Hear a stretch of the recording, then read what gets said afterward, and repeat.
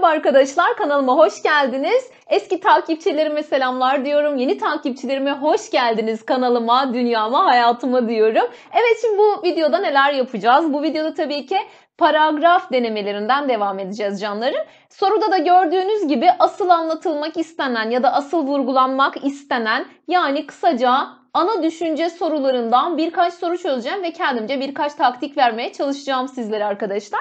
Ee, burada yapmanız gereken şey şu. Şıkları hiç görmeyin, bakmayın hiç önemli değil ama bu tarz sorularda sadece ana düşünce sorularında ne yapmanız gerekiyor? Metni okudunuz, Metinden siz bir yorum çıkarın. Ne anlatmak istediğiyle ilgili bir yorum. Daha sonra kendi yorumunuza yakın bir yorum aşağıdaki seçeneklerde arayın. Hadi bakalım hazırsanız başlayalım o halde.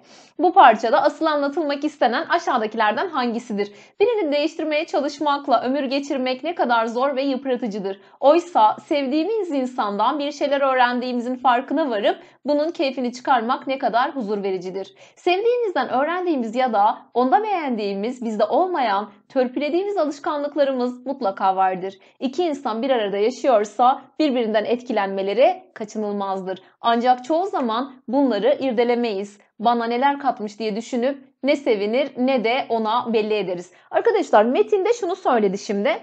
İnsanlar bir arada yaşarken birbirinden mutlaka etkileniyor diyor.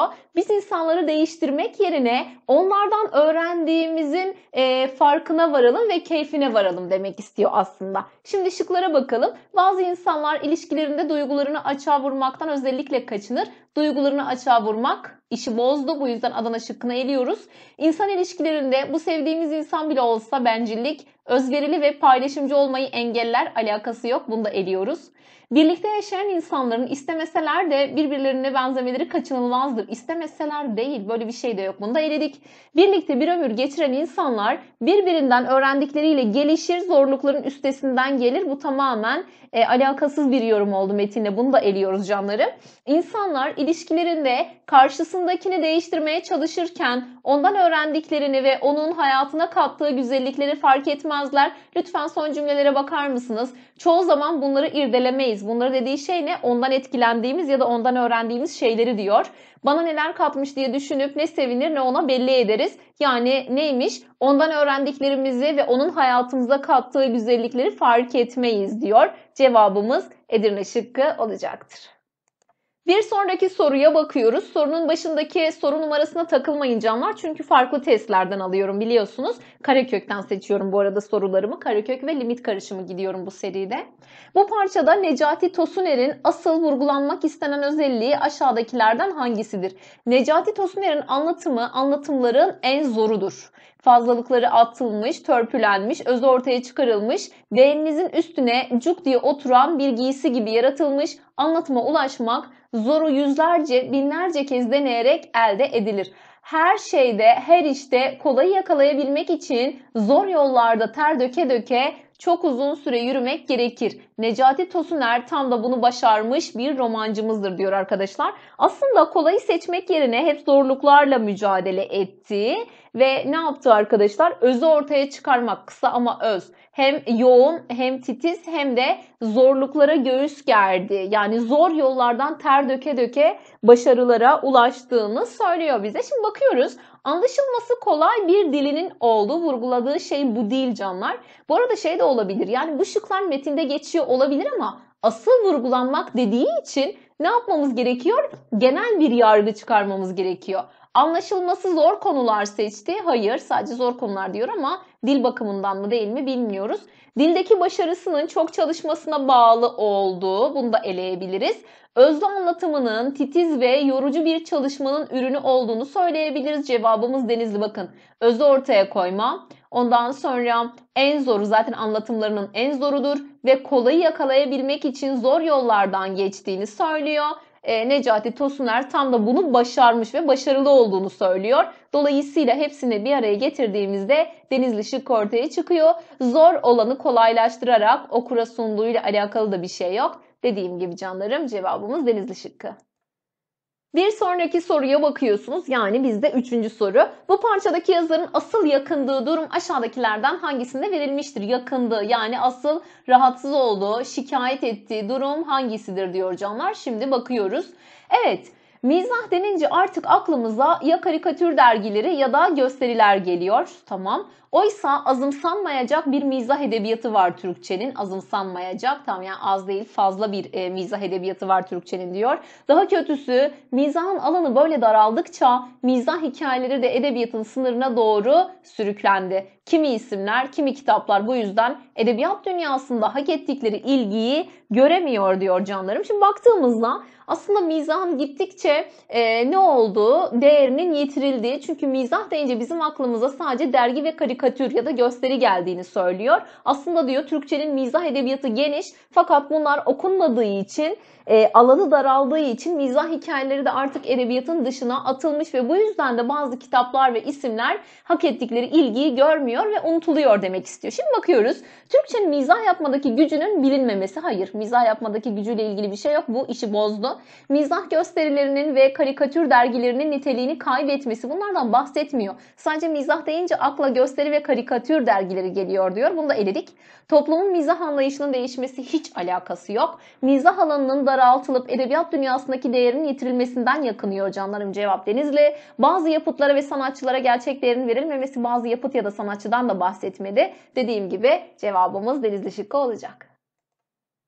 Bu parçada asıl anlatılmak istenen aşağıdakilerden hangisidir? Arada ne kadar zaman geçerse geçsin ve kişi nedenli uzağa giderse gitsin, geçmişi onu bir gölge gibi takip eder, sıyrılıp uzaklaşamaz parçası olduğu insanlardan. İnsan kendisiyle baş başa kaldığı zaman kimsesizliğinin, yalnızlığının acısı bir karabasan gibi çöker yüreğine. Geçmişe dönmek, birileri tarafından yalan da olsa özlendiğini ve önemsendiğini duymak, telefona hizesini kaldırıp tuşlara dokunmak kadar kolay fakat bir o kadar da zor olur. Neden bahsetti canlar? Kişinin geçmişinden kopmadığını, geçmişini unutmadığını yani ne kadar uzağa giderse gitsin, nereye giderse gitsin geçmişinden kopamadığını söyledi tabii ki. Asıl anlatmak istediği şey bu benim anladığım. Şimdi şıklara bakıyoruz tabii ki.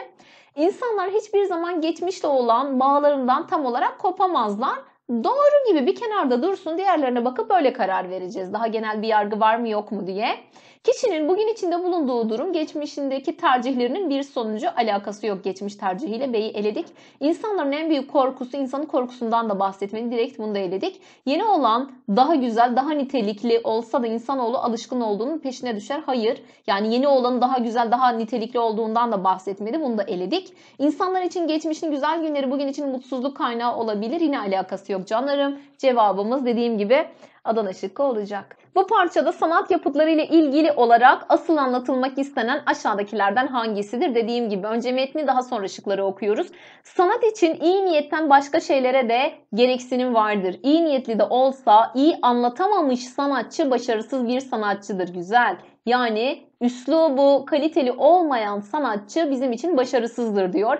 İnsan en soylu duygularını anlatmaya kalktığında sıradanlığın, yavanlığın çemberini takılabilir. Açıklanamazı açıklamak gibi güç olun gerçekleştirirken sanatçı özgün anlatımı yakalamalıdır. Yani arkadaşlar burada üzerinde durduğu konu ne? Gördüğünüz gibi üslup. Konusuyla anlatım biçimi arasında etkileşimin güçlü olması hayır. Konudan bahsetmedi eledik. Denenmemiş biçemler biçem üslup demektir. Unutmayın biçim değil bakın biçem dikkat. Biçim şekil demek. Biçem üslup demek. Denenmemiş biçemler yeni söyleyişle yine üslubun bir parçasıdır söyleyiş. Oluşturulması cevabımız kesinlikle Bursa.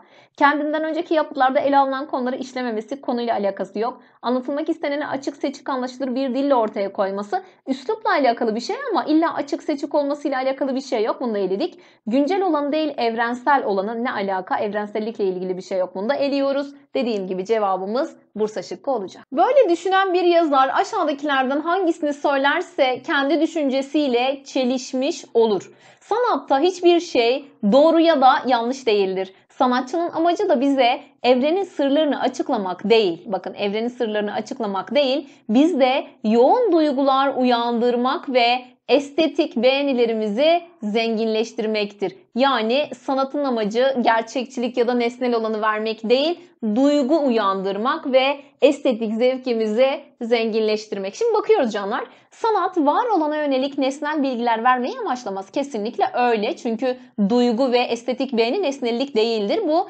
örtüşüyor verilen e, metinle. Bu yüzden A'yı eleriz. B'ye bakıyoruz. Bir yapıta yansıtılanları doğanın e, gerçekleriyle özdeşleştirmeye çalışmak doğru bir tutum değildir. Kesinlikle öyle. Çünkü gerçeklerle uyuşmak zorunda değildir sanat. Bu yüzden bunu da eliyoruz.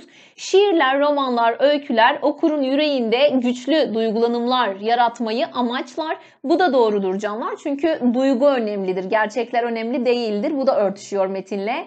Sanatsal yaratı bireyin zihinsel ve duygusal bir değişim yaşamasını amaçlar. Zihinsel ve duygusal evet sanatın işi bu yüzden bunu da eliyoruz. Gerçekte türü ne olursa olsun her sanat yapıtı bireyin yaşadığı dünyayı daha gerçekçi görmesine yardımcı olur. Yanlış işte bu sanatçının işi değildir arkadaşlar. Çünkü sanatçının işini yukarıda vermiş. Yoğun duygular uyandırmak ve estetik beğenilerimizi zenginleştirmek. Gerçekleri ya da gerçekçi görmek değildir dünyayı. Cevabımız bu yüzden Edirne şıkkı olacak. Bu sözleri söyleyen kişiye göre eleştirinin temel niteliği aşağıdakilerden hangisidir? Ben eksper değilim çünkü eksperlik bir meslektir. Ama kendisini, sanatını yakından tanıdığım, izlediğim sanatçılar için görüş bildiririm. Değerlendirme kriterlerim, ölçütüm sadece ve sadece gözdür. Çünkü göz dediğinizde bilgi, beğeni ve deneyim söz konusudur. Eğer birisi bir ressamın 1500 eserler, eserini gördüyse, o eserlerin izini sürdüyse, o eserler hangi koleksiyonlarda yer aldı? Sanatçı hangi dönemlerde neleri yaptı? Kimlerden etkilendi? Bunları biliyorsa o sanatçının resmini de biliyor demektir diyor arkadaşlar. Şimdi baktığımızda demiş ki eleştirinin temel niteliği nedir? Bakın ee, hangi koleksiyonlarda yer aldı, hangi dönemlerde neleri yaptı, kimlerden etkilendi bunları biliyorsa diyor o sanatçının resmini biliyor. Yani şunlar bizim için nedir? Eleştirinin temel niteliğidir canlarım. Çok yönlü olması değil, farklı değerlendirme ölçütlerinin kullanılması değil. Zaten farklı değerlendirme demiyor. Burada sadece gözdür diyor gördüğünüz gibi. Özgün düşünceler içermesi değil, zengin bir birikim gerektirmesi cevabımız denizli olur. İşlevsel bir nitelik taşıması da değildir. Dediğim gibi cevabımız e, denizli şıkkı olur. Bu parçada sözü edilen yazarın vurgulanmak istenen özelliği aşağıdakilerden hangisidir? Bazı yazarlar edebiyata katkılarıyla sadece okuyuculara hoş vakit geçirecekleri ya da üzerine kafa yoracakları konular sağlamakla kalmaz, hayatlarıyla da insanlara ve dolayısıyla tarihe etki ederler. James Baldwin, Amerika'nın aykırı ve keskin konularını başına ne tür bir bela alacağını aldırmadan yazan bu siyahi yazar, bu tür edebiyatçılardan biri. Ezilenlere var olduklarını, var olmayı sürdürmelerini ve savaşmaları gerektiğini hatırlatan bir yazar. Şimdi arkadaşlar bununla ilgili demiş vurgulanmak istenen hangisidir? Yol gösteren, bakış açısını değiştiren bir model oluşturması olduğunu söyleyebiliriz. Neden biliyor musunuz? Çünkü diyor ki yazdığı şeylerle diyor burada e, kafa yoracakları konular sağlamakla kalmaz hayatlarıyla da insanlara etki eder ve burada da gördüğünüz gibi ezilenlere var olduklarını, var olmayı sürdürmelerini ve savaşmaları gerektiğini yani yol gösteren, bakış açılarını değiştiren bir model olduğunu söyler. Cevabımız Adana şıkkı. Bilinen somut gerçekleri etkileyici bir biçimde işlemesi hayır. Somut gerçekler işi bozdu. Okuyucusunu yazdıklarıyla etkilerken onunla bütünleşmesi genel anlatılmak istenen şey değil bu da. Olayları yaşanmışlık duygusu uyandıracak biçimde ele alması değil kişisel görüşlerinin başarılı biçimde yansıtılması bu da değil. Dediğim gibi cevabımız Adana şıkkı olacaktır. Canlarım bu konuda da benim e, vereceğim örnekler ve çözeceğim sorular bu kadardı. Lütfen takipte kalmayı, bildirimleri açmayı, kanala abone olmayı unutmayın. Hoşçakalın.